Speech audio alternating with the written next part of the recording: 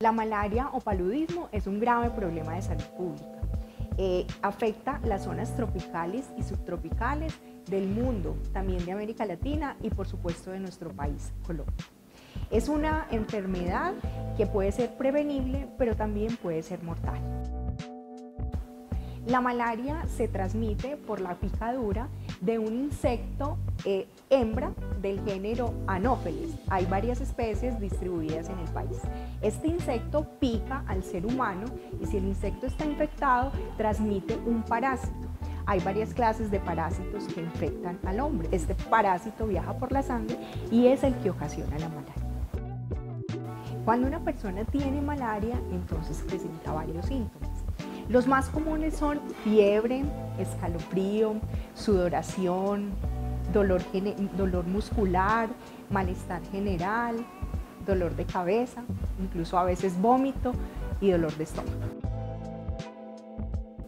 Cuando uno presenta alguno de los síntomas que mencionamos anteriormente, entonces lo ideal es acudir al médico, a un puesto de salud, a un centro de salud para hacerse el diagnóstico no es aconsejable automedicarse.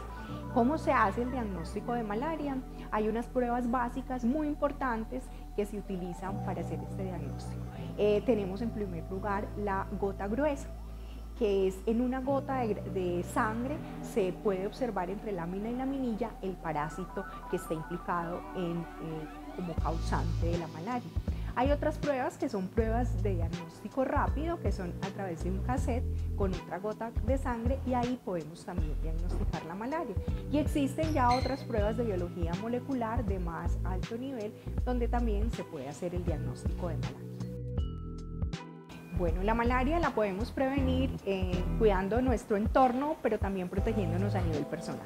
Entonces, el cuidado del entorno es limpiar eh, los criaderos de mosquitos que se pueden establecer alrededor de las viviendas, quitando la maleza, en la hierba o los residuos que acumulan agua que se pueden convertir en criaderos de mosquitos. También una medida muy importante es dormir bajo el toldillo toldillos generalmente impregnados con insecticidas que los utilizamos para cubrir las camas, para dormir porque los mosquitos acostumbran picar generalmente en horas de la noche. Cuando las personas van a viajar a estas zonas donde la malaria es endémica en el país o fuera del país, es muy importante seguir algunas recomendaciones básicas. Por ejemplo, el uso de ropa que cubra la mayor parte del cuerpo, manga larga, pantalón largo.